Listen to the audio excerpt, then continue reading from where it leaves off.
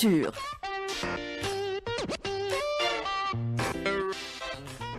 On va parler de culture à présent, euh, euh, Soraya, avec notre ami Fatah Boumahdi. Bonjour Fatah. Bonjour Soraya, bonjour Hakim, bonjour à tous les auditeurs. Aujourd'hui nous parlons donc de la loi fondamentale de l'artiste. Elle a été euh, promulguée comme euh, vous le savez. Et pour bénéficier de ces droits, il faut être détenteur de la carte d'artiste. Comment faire?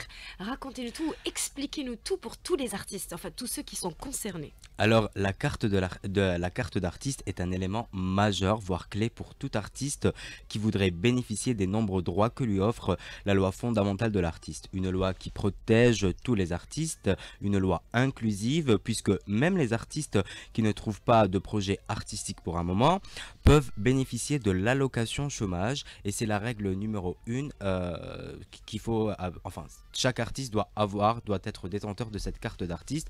Et euh, on va écouter Missoum Laroussi, vice-président du Conseil national des arts et des lettres les avantages euh, qui peuvent être attribués à ce détenteur de, carte d'artiste, euh, premièrement pour la sécurité sociale, il peut euh, s'affilier à la CNAS, il peut bénéficier à l'avenir de, l'allocation chômage. Actuellement, on est en train de s'atteler pour préparer un test concernant ce volet-là qui est très très important. Il peut bénéficier aussi d'un numéro d'identification fiscale, il peut s'affilier à la direction des impôts, donc il peut facturer ses œuvres, ses produits artistique.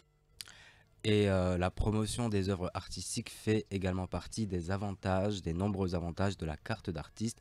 On va écouter encore une fois Missoum Laroussi carte d'artiste euh, aussi dans la promotion des activités de, l'artiste. Elle lui permet d'être parmi les prioritaires dans une production artistique. Les, participants euh, dans une production artistique, au seuil de 70%, ils doivent impérativement être détenteurs d'une carte d'artiste.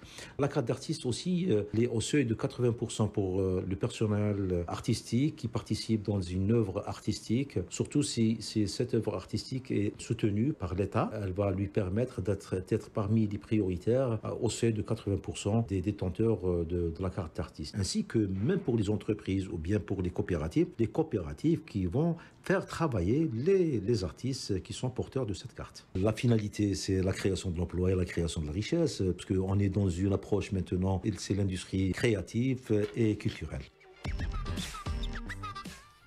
Et ça, ça va créer de l'emploi aussi. Et euh, comme information, euh, aujourd'hui au niveau du Palais de la Culture Moufdi Zakaria, aura lieu justement une conférence de presse en, en présence des artistes afin d'exposer ou enfin, expliquer également davantage tous les articles de la loi fondamentale de l'artiste et c'est à partir de 9h. Ouais, c'est vrai qu'on a tendance, et on le sait, en tout cas c'était vrai il y a une certaine époque, euh, euh, certaines années, les artistes, on disait, ont cette réputation, c'est un peu dans leur bulle, donc ils ne s'intéressent pas trop à ce qui est argent, à ce qui est matériel, donc ils, sont un peu sur un nuage, ils créent, c'est ce qui leur importe, mais du coup ils oublient d'être de, protégés de leurs droits, voilà, d'où l'importance d'être vraiment au fait et au courant. C'est devenu vraiment important, il faut vraiment avoir sa carte d'artiste pour bénéficier de tous ses droits. Voilà, et être protégé. Au, voilà. au Palais de la Culture, Moufdi Zakaria. C'est à 9h.